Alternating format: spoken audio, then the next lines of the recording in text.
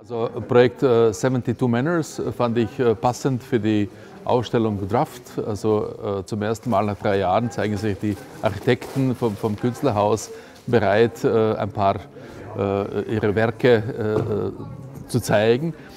Äh, Projekt ist eigentlich eine, eine außergewöhnliche Auseinandersetzung mit äh, Tusch, Aquarell, Skizzieren, äh, Schrift. Äh, äh, eine von meinen vielen Aufenthalten in China entstanden für ein Dorf.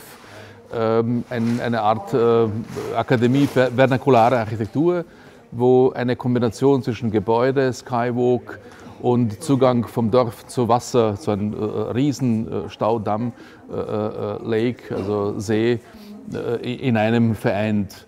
Also Projekt lässt sich so einfach beschreiben in seiner Komplexität, daher auch die Präsentation äh, äh, ein, ein Medley aus, aus Fotografien, Modellfotos, äh, Skizzen, alles das, was zu einem simultanen Umgang mit, mit einer Idee und ihren Geburt äh, durch äh, diesen Draft, durch diese Skizze äh, notwendig ist.